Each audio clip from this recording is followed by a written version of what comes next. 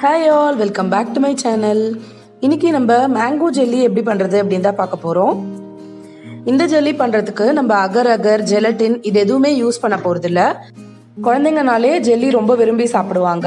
அந்த ஜெல்லியை chemicals use பண்ணாமல் எப்படி பண்ணலாம் அப்படின்னு தான் நான் இந்த வீடியோவில் சொல்ல போகிறேன் இந்த ரெசிபி எப்படி செய்யறது அப்படின்னு பார்க்கறதுக்கு முன்னாடி இப்போ தான் ஃபஸ்ட் டைம் நீங்கள் என்னோட வீடியோ பார்க்குறீங்கன்னா என்னோட சேனல் சுபா வெங்கட் கிச்சன் அதை சப்ஸ்கிரைப் பண்ணிக்கோங்க.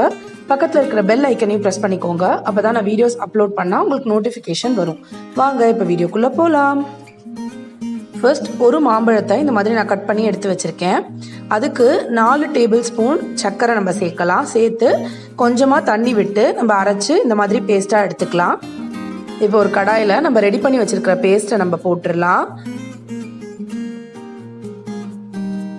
இதோட ஒரு ஒரு கப் தண்ணி சேர்த்து நீங்கள் நல்லா கலந்து விடுங்க. இந்த மாம்பழ பேஸ்ட்டும் அந்த தண்ணியும் நமக்கு நல்லா பிளெண்ட் ஆகி வரணும்.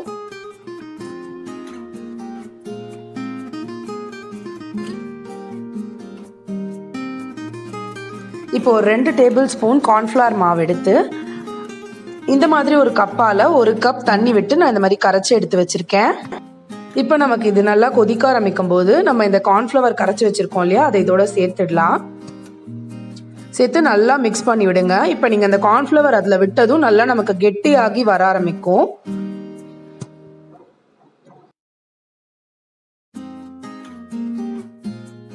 ஜென்ரலாக இந்த மாதிரி ஜெல்லி பண்ணணும் அப்படின்னாலே அகர் அகரோ இல்லை ஜெலட்டினோ தான் நம்ம யூஸ் பண்ணுவோம்.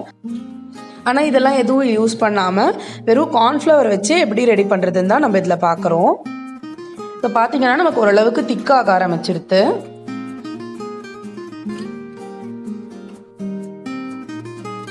இப்போ பார்த்தீங்கன்னா நமக்கு ஓரளவுக்கு ஒட்டாமல் வந்துடுது இந்த ஸ்டேஜில் நம்ம ஒரு ட்ரேயில் கொஞ்சமாக எண்ணெயோ இல்லை நெய்யோ தடவிட்டு அதில் இதை டிரான்ஸ்ஃபர் பண்ணி வச்சிடலாம்.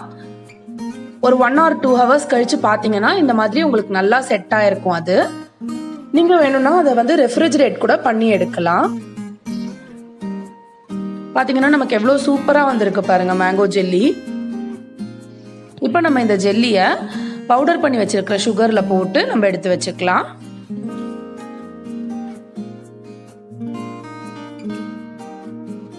அவ்வளோதாங்க சூப்பரான ஜெல்லி உங்களுக்கு வீட்டிலே நீங்கள் ரெடி பண்ணிடலாம். எந்த வித கெமிக்கலுமே இல்லாமல் பார்த்தீங்கன்னா எவ்வளோ சாஃப்டாக இருக்குது பாருங்கள் நம்ம குழந்தைங்களாம் ரொம்பவே விரும்பி சாப்பிடுவாங்க.